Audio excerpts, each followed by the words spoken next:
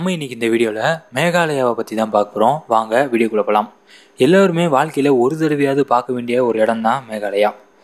மேகாலயா முழுவதுமேவும் ஒரு காலத்தில் கடலுக்குள்ளே இருந்திருக்கணும் அப்படின்னு சொல்லி சொல்கிறாங்க அதை நிரூபிக்கிற விதமாக இங்கே ஏராளமான மலைகள் பள்ளத்தாக்குகள் குகைகள் அப்படின்னு நிறைய விஷயங்கள் இருக்குது அதுலேயும் குறிப்பாக சொல்லணும்னா ரெண்டாயிரத்தி பதினஞ்சாம் வருஷம் கணக்குப்படி ஆயிரத்தி ஐநூற்றி எண்பதுக்கும் மேற்பட்ட குகைகள் இங்கே இருந்திருக்காம். இதில் தொள்ளாயிரத்தி எண்பதுக்கும் அதிகமான குகைகள் முழுசாக ஆய்வு செய்யப்பட்டிருக்கு. மேகாலயாவில் இருக்கிற கிராம்லியட் பிராக் அப்படிங்கிற குகை தான் இந்தியாவிலேயே ரொம்ப பெருசு. இது வந்து மூணு புள்ளி ஒரு கிலோமீட்டர் நீளம் கொண்டது.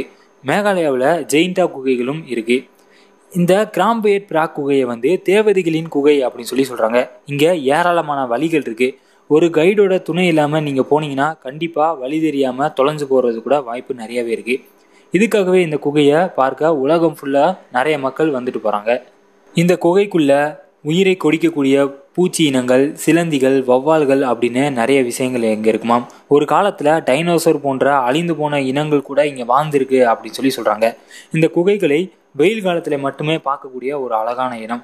மேகாலயாவில் வந்து மழை அப்படிங்கிறது ரொம்பவே அளவுக்கு அதிகமாக பெய்யும். அப்படி மழை பெய்கிறப்போ குகைக்குள்ளே தண்ணீர் பெருகி உயிருக்கே ஆபத்து வைத்து கூட வாய்ப்புகள் நிறைய இருக்குது மேகாலயாவில் இருக்கிற ரொம்பவே சிறப்பான குகைகளை பற்றி இப்போ பார்ப்போம்.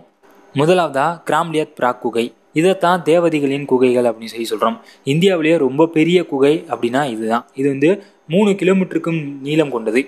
ஒவ்வொருவரும் இதை கண்டிப்பாக போய் பார்க்க வேண்டிய ஒரு இடம். ஒரு சில இடங்களில் ரொம்பவே இருட்டாக இருக்குமாம் வெளிச்சமே இருக்காதாம். ஒரு சில இடத்துல ரொம்பவே வெளிச்சம் தெரியுமாம் தண்ணீரும் நிறையவே இருக்குமாம்.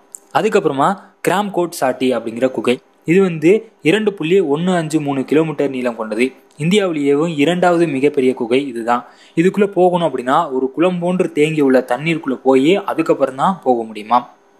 அடுத்ததா மாவுஸ் மாய் குகை. இங்கே போகிறதுக்கு வந்து ரொம்பவே விசித்திரமான கவர்ச்சியுடைய கிராமங்கள் இயற்கையான புல்தரைகள் சுற்றிலும் காடு இதையெல்லாம் தாண்டி தான் இந்த குகைக்குள்ளேயே போகிற மாதிரி இருக்கும். அதனால் ஆபத்தே இல்லாமல் ரொம்பவே சுற்றுலா பயணிகள் என்ஜாய் பண்ணி போகக்கூடிய ஒரு இடம் தான் இது. அதுக்கப்புறமா ஜியூம் பியூன் அப்படின்னு சொல்லப்படுற ஒரு குகை.